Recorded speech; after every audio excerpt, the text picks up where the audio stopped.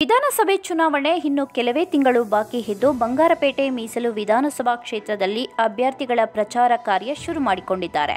Taluk JDS ವತಿಯಿಂದ ಬೂದಿಕೋಟೆ ಹೋಬಳಿಯ ಪಂಚರತ್ನ ಯೋಜನೆಯ ಕಾರ್ಯಕ್ರಮಗಳ ವಿವರಗಳನ್ನು ಮನೆ ಮನೆಗೆ ತಲುಪಿಸುವ ಕೆಲಸವನ್ನು ಮಾಡಿದ್ದಾರೆ.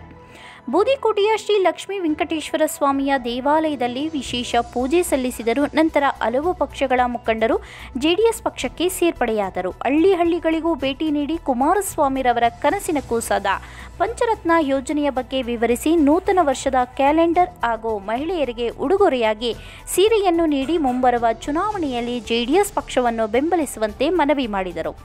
ಈ ಸಂದರ್ಭದಲ್ಲಿ ಜೆಡಿಎಸ್ ಅಭ್ಯರ್ಥಿ ಮಲ್ಲೇಶ್ ಮುನಿಸ್ವಾಮಿ, ತಾಲೂಕು ಜೆಡಿಎಸ್ ಅಧ್ಯಕ್ಷ ಮುನಿರಾಜು, ಮಾಜಿ ಜಿಲ್ಲಾ ಪಂಚಾಯಿತಿ ಅಧ್ಯಕ್ಷೆ ಮಂಗಮ್ಮ ಮುನಿಸ್ವಾಮಿ ಹಲವು ಮುಖಂಡರು ಹಾಗೂ ಸಾರ್ವಜನಿಕರು ಉಪಸ್ಥಿತರಿದ್ದರು.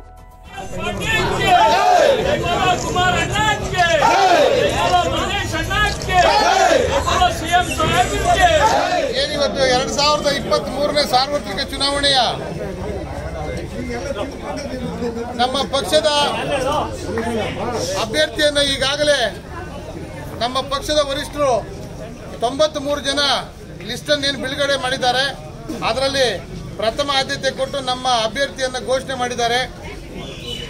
ಮಲ್ಲೇಶ್ ಬಾ, ಮಲ್ಲೇಶ್ ಮುನ್ಸಾಮಣ್ಣನವ್ರಿಗೆ ನಾವು ಅಭಿನಂದನೆಗಳು ಸಲ್ಲಿಸ್ತಾ ಇದ್ದೀನಿ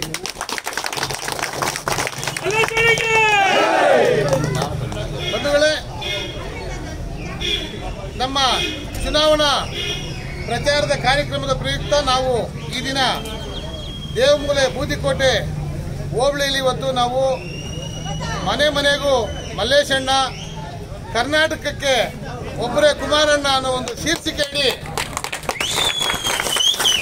ಜನತಾ ಪರಿವರ್ತನಾ ಯಾತ್ರೆ ಅಂತ ಒಂದು ಶೀರ್ಷಿಕೆಯನ್ನು ಇಟ್ಕೊಂಡು ಇವತ್ತು ನಾವು ಮನೆ ಮನೆಗೂ ಮಲ್ಲೇಶ್ವರನ ಪರಿಚಯ ಮಾಡಿಕೊಡ್ಬೇಕು. ಮನೆ ಮನೆಗೂ ಎಲ್ಲ ಒಂದು ತಾಯಂದ್ರಿಗೂ ಮತ್ತೆ ಅಣ್ಣ ತಮ್ಮಂದ್ರಿಗೂ ನಮ್ಮ ಅಭ್ಯರ್ಥಿಯಾದ ಮಲ್ಲೇಶಣ್ಣನ ಪರಿಚಯ ಮಾಡಬೇಕಂತ ಒಂದು ಮಹತ್ವವಾದ ಒಂದು ಕಾರ್ಯಕ್ರಮನ ಇವತ್ತು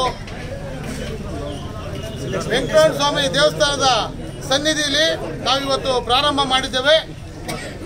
ಈ ಒಂದು ಕಾರ್ಯಕ್ರಮದ ರೂಪರೇಷೆ ಏನಪ್ಪಾ ಅಂತಂದ್ರೆ ಈ ಹೋಬಳಿ ಪ್ರತಿ ಪಂಚಾಯತಿಲಿ ಪ್ರತಿ ಗ್ರಾಮಕ್ಕೂ ಭೇಟಿ ನೀಡಿ. ಇವತ್ತು ಏನು ಬೂದಿಕೋಟೆ ಹೋಬಳಿಯಲ್ಲಿ ಜನತಾ ಪರಿವರ್ತನೆ ಯಾತ್ರಾ ಅಂತ ಏನು ಶುರು ಮಾಡಿದ್ದೀವೋ ಜೆ ಡಿ ಎಸ್ ಪಕ್ಷದ ವತಿಯಿಂದ. ಇದು ಇದು ನಮ್ಮ ಪಕ್ಷದ ಎರಡು ಸಾವಿರದ ಇಪ್ಪತ್ತ್ಮೂರು ಚುನಾವಣೆಗೆ ಏನು ಕ್ಯಾಂಪೇನ್ ಅಂತ ಶುರು ಮಾಡ್ತಾ ಇದೀವೋ, ಇವತ್ತಿಂದನೇ ಶುರು ಮಾಡ್ತಾ ಇದೀವಿ. ಪ್ರತಿ ಪ್ರತಿ ಹಳ್ಳಿಗೂ, ಪ್ರತಿ ಮನೆಗೂ ನಾವು ಭೇಟಿ ನೀಡಿ, ಅವರ ಆಶೀರ್ವಾದ ಪಡೆಯೋಕ್ಕೆ ನಾನು ಮುಂದೆ ಆಗ್ತಾ ಇದ್ದೀನಿ ಏಕೆಂದರೆ ಹೋದ ಚುನಾವಣೆಯಲ್ಲಿ ನನಗೆ ಕಾಲಾವಕಾಶ ಕಡಿಮೆ ಇತ್ತು. ಈ ಎರಡು ವರ್ಷ, ಐದು ವರ್ಷದಲ್ಲಿ ಎರಡು ವರ್ಷ ಕರೋನಾ ಇತ್ತು. ಎಲ್ಲ ಜನನ ಮುಟ್ಟಾಡೋಕ್ಕಾಗಲಿಲ್ಲ ಅದಕ್ಕೆ ಅವರ ಆಶೀರ್ವಾದ ಪಡೆಯೋಕ್ಕೆ ನಾನು ಪ್ರತಿ ಹಳ್ಳಿಗೂ, ಪ್ರತಿ ಮನೆಗೂ ಹೋಗ್ತಾ ಇದ್ದೀನಿ. ಅವ್ರ ಆಶೀರ್ವಾದ ನಮ್ಮ ಜೊತೆ ಇರುತ್ತೆ ಅಂತ ನಂಬಿ ಮುಂದೆ ಚುನಾವಣೆಯಲ್ಲಿ ನನಗೆ ಆಶೀರ್ವಾದ ಮಾಡ್ತಾರೆ.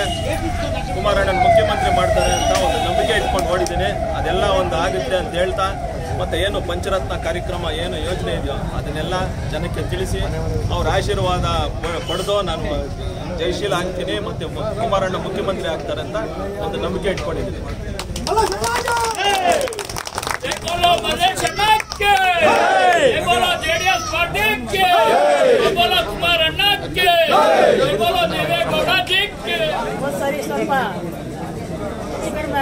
ಎಡವಟ್ಟಾದ್ರಿಂದ ನಾವು ಸೋಲಕ್ಕೆ ಕಾರಣ ಆಯಿತು ಆ ಸೋಲನ್ನ ಇವಾಗ ನಾವು ಸರಿಪಡಿಸ್ಕೊಂಡು ಮತ್ತೆ ಈಗ ಎರಡು ಸಾವಿರದ ಇಪ್ಪತ್ತ್ಮೂರನೆಯ ಚುನಾವಣೆಗೆ ನಾವೆಲ್ಲ ಸಜ್ಜಾಗಿದ್ದೀವಿ ಎಲ್ಲ ಕಾರ್ಯಕರ್ತರು ಮತ್ತು ಎಲ್ಲ ನಮ್ಮ ಲೀಡರ್ಗಳು ಕಾರ್ಯಕರ್ತರು ಎಲ್ಲರೂ ಸಹ ನಮಗೆ ಒಂದು ಅಭಯ ನೀಡ್ತಾ ಇದ್ದಾರೆ ಈ ಸಾರಿ ಮಹಿಳೆಯರು ಎಲ್ಲರೂ ಸಹ ನಮಗೆ ಅಭಯ ನೀಡ್ತಾ ಇದ್ದಾರೆ ಈ ಸಾರಿ ಮಲೇಷನ್ನ ಗೆಲ್ಲಿಸಬೇಕು ಅನ್ನೋ ಒಂದು ಎಲ್ಲರೂ ನಮಗೆ ಅಭಯ ನೀಡ್ತಾ ಇದ್ದಾರೆ. ಆ ಇದರಿಂದ ಇಪ್ಪತ್ತ್ಮೂರು ಎರಡು ಸಾವಿರದ ಇಪ್ಪತ್ತ್ಮೂರನೇ ಚುನಾವಣೆಗೆ ಇವಾಗಲಿಂದಲೇ ಸಜ್ಜಾಗಿ ಪ್ರತಿಯೊಂದು ಮನೆ ಮನೆಗೂ ಹೋಗಲಿಕ್ಕೆ ಎಲ್ಲ ಸಜ್ಜಾಗಿದ್ದೀವಿ ದೇವರ ಆಶೀರ್ವಾದ ಮತ್ತು ನಮ್ಮ ಪಕ್ಷದ ಎಲ್ಲ ಕಾರ್ಯಕರ್ತರ ಹೋಬಳಿಯ ಮತ್ತು ಕಾರ್ಪಟ್ಟಿ ಕ್ಷೇತ್ರದ ಎಲ್ಲರೂ ಆಶೀರ್ವಾದ ಮಾಡ್ತಾರೆ. ನನ್ನ ಮಗ ಮಲ್ಲೇಶನಿಗೆ ಹೇಳ್ತಾ ಜಯಶೀಲರು ಆಗ್ತಾರೆ ಅಂತ ಒಂದು ನಂಬಿಕೆ ಇದೆ.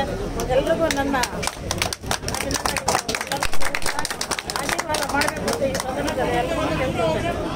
ಎಲ್ಲರಿಗೂ ಏನಾದರೂ ಇದ್ರೆ, ಯಾಕಂದ್ರೆ ಎಲ್ಲ ಒಂದು ನಾಲ್ಕ, ನಾಲ್ಕೂವರೆ ವರ್ಷ, ಐದು ವರ್ಷದಿಂದ ಕರೋನಾ ಬಂದು, ಇಲ್ಲಾಂದ್ರೆ ಬೇರೆ ಏನಾದರೂ ಒಂದು ಹೆಚ್ಚು ಕಡಿಮೆ ಆಗಿ ಎಲ್ಲರೂ ನೀವು, ನಾವು ಎಲ್ಲರೂ ಆ ಪಂಚರತ್ನ ಕಾರ್ಯಕ್ರಮ ಒಂದು, ಆ ಆ ಕಾರ್ಯಕ್ರಮವನ್ನು ಯಶಸ್ವಿಗೊಳಿಸೋಕ್ಕೆ ನೀವು ಕುಮಾರಸ್ವಾಮಿಗೆ ಮತ್ತು ನನಗೆ ಮತ್ತು ಜೆ ಪಕ್ಷಕ್ಕೆ ಈ ಸತಿ ಮತ ನೀಡಿ. ನಿಮ್ಮನ್ನ ನಿಮ್ಮೆಲ್ಲ ನಾವು ತಾವೆಲ್ಲ ನನ್ನನ್ನು ಬೆಂಬಲಿಸಬೇಕು ಅಂತ ಕೇಳ್ತಾ ನಾನು ಎರಡು ಮಾತು ಮುಗಿಸ್ತೇನೆ ಜೈ.